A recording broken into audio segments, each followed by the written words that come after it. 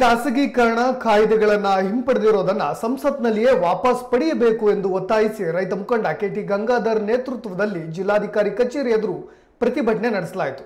ಸುಗ್ರೀವಾಜ್ಞೆ ಮೂಲಕ ಜಾರಿಗೆ ತಂದಿರುವ ಕಾಯ್ದೆಗಳನ್ನ ಸಂಸತ್ನಲ್ಲಿಯೇ ಭಾರತ ಸರ್ಕಾರ ವಾಪಸ್ ಪಡೆಯಲಿದೆ. ಈ ಕಾಯ್ದೆಗಳನ್ನ ಜಾರಿಗೆ ತರುವ ಪ್ರಮೇಯ ಏನಿತ್ತು ಎಂದು ರೈತ ಮುಖಂಡರು ಪ್ರಶ್ನೆ ಮಾಡಿದರು.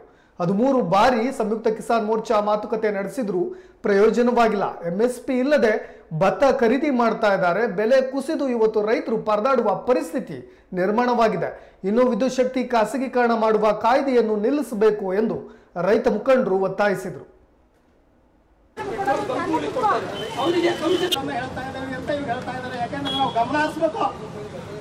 ಧನ್ಯವಾದಗಳನ್ನ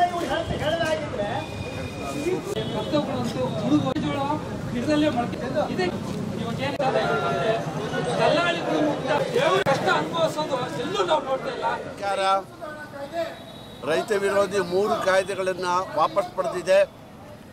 ಪ್ರಧಾನಮಂತ್ರಿ ಮೋದಿಯವರು ಬಹಿರಂಗ ಸಭೆಯಲ್ಲಿ ಘೋಷಣೆ ಮಾಡೋದ್ರ ಮೂಲಕ ಈ ಕಾಯ್ದೆಗಳನ್ನು ವಾಪಸ್ ಪಡೆದಿದ್ದೇನೆ ಅಂತಕ್ಕಂಥ ಪುನರುಚ್ಚಾರವನ್ನು ಮಾಡಿದ್ದಾರೆ.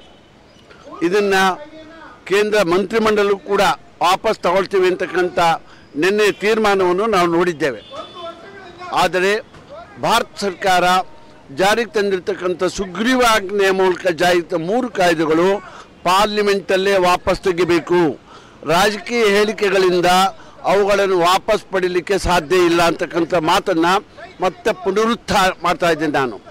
ಕಾರಣ ಇಷ್ಟೇ ಈ ಕಾಯ್ದೆಯಿಂದ ರೈತನಿಗೆ ಅನ್ಯಾಯ ಆಗುತ್ತೆ ಅಂತ ಗೊತ್ತಿದ್ದರೂ ಕೂಡ ಭಾರತ ಸರ್ಕಾರ ಸುಗ್ರೀವಾಜ್ಞೆ ಮೂಲಕ ಕರೋನಾ ಸಂದರ್ಭದಲ್ಲಿ ರೈತರ ಮೇಲೆ ಇಂಥ ಕಾಯ್ದೆಗಳನ್ನು ಹೇರಿ ಭಯಭೀತವಾಗಿದ್ದಂಥ ವಾತಾವರಣದಲ್ಲಿ ಈ ಕಾಯ್ದೆಯನ್ನು ಜಾರಿ ತರ್ತಕ್ಕಂಥ ಪ್ರಮೇಯ ಏನಿತ್ತು ಭಾರತ ಸರ್ಕಾರಕ್ಕೆ ಅನ್ನುವ ಮಾತನ್ನು ಪ್ರಶ್ನೆ ಕೇಳಬೇಕಾಗಿದೆ.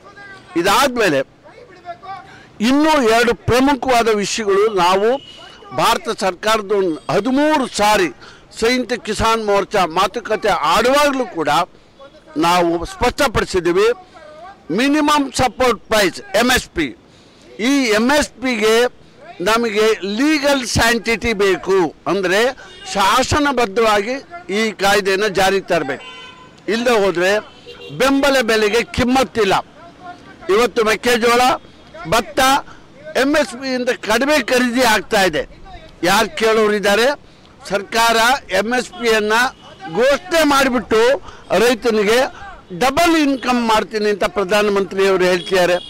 ಮಾರುಕಟ್ಟೆ ಬೆಲೆಯಲ್ಲಿ ಬೆಲೆ ಕುಸ್ತು ಬೆಲೆನೇ ಸಿಗ್ತಾ ಇದೆ. ಈಗ ಸಿಗದೆ ಹೋದಾಗ ಡಬಲ್ ಇನ್ಕಮ್ ಮಾಡ್ತಕ್ಕಂಥ ಪ್ರಶ್ನೆ ಎಲ್ಲಿ ಉಳಿತು ಅಂತಕ್ಕಂಥದ್ದನ್ನು ನಾನು ನೇರವ ಪ್ರಧಾನಮಂತ್ರಿಯವ್ರನ್ನ ಕೇಳ್ತಾ ಇದ್ದೀನಿ.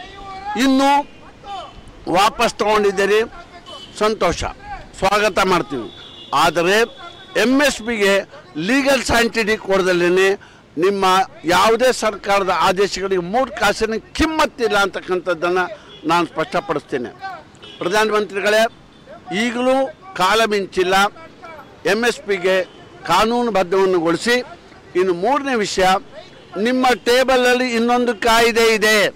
ಯಾವುದು ಅಂದರೆ, ವಿದ್ಯುತ್ ಶಕ್ತಿಯನ್ನು ಖಾಸಗೀಕರಣ ಮಾಡ್ತಕ್ಕಂಥ ಕಾಯ್ದೆ ನಿಮ್ಮ ಟೇಬಲಲ್ಲಿ ಕಾಯ್ತಾ ಇದೆ. ವಿದ್ಯುತ್ ಶಕ್ತಿ ಖಾಸಗೀಕರಣ ಮಾಡಕೂಡ್ದು. ಮಾಡೋದಕ್ಕೆ ನಾವು ಬಿಡೋದಿಲ್ಲ. ಯಾಕೆಂದರೆ ವಿದ್ಯುತ್ ಶಕ್ತಿಯನ್ನು ಅವಲಂಬಿಸಿ ಬೆಳೀತಕ್ಕಂಥ ಕೃಷಿ ಉದ್ಯಮ, ಇವತ್ತು ತರಕಾರಿ, ಕಾಯಿಪಲ್ಯ, ಹಣ್ಣು, ಹಂಪಲು, ದನಗಳ ಮೇವು, ಇವೆಲ್ಲದನ್ನು ಬೆಳೀತಿರೋದು ಬರಗಾಲ ಸೀಮೆಯ ರೈತರು ಬೋರ್ವೆಲ್ಗಳಿಂದ. ಈ ಬೋರ್ವೆಲ್ಗೆ ವಿದ್ಯುತ್ ಶಕ್ತಿನೇ ಆಧಾರ ಆಗಿದೆ. ಈಗ ನೀವು ವಿದ್ಯುತ್ ಶಕ್ತಿಯನ್ನು ಖಾಸಗೀಕರಣಗೊಳಿಸಿದರೆ ನಾಳೆ ಆ ವಿದ್ಯುತ್ ಶಕ್ತಿ ಬಿಲ್ಲನ್ನು ಕಟ್ಟಿ ನಾವು ವ್ಯವಸಾಯ ಮಾಡೋಕ್ಕೆ ಸಾಧ್ಯ ಇಲ್ಲ. ನೀವು ಜಲಾಶಯಗಳನ್ನು ಕಟ್ಟಿ ನೀರಾವರಿ ಮಾಡಿದ್ದೀರಿ. ಇನ್ನು ಬರಗಾಲ ಸೀಮಾನ್ಗೆ ರೈತನಿಗೆ ಅಂತರ್ಜಲವನ್ನು ತೆಗೆದು ವ್ಯವಸಾಯ ಮಾಡಬೇಕಾದ್ರೆ ವಿದ್ಯುತ್ ಶಕ್ತಿ ಬೇಕೇ ಬೇಕು. ಆದ್ದರಿಂದ ವಿದ್ಯುತ್ ಶಕ್ತಿ ಖಾಸಗೀಕರಣ ಬಗ್ಗೆ ನೀವು ಸ್ಪಷ್ಟವಾಗಿ ಉತ್ತರ ಕೊಡದೆ ಹೋದರೆ ನಾವು ಈ ಚಳುವಳಿಯನ್ನು ವಾಪಸ್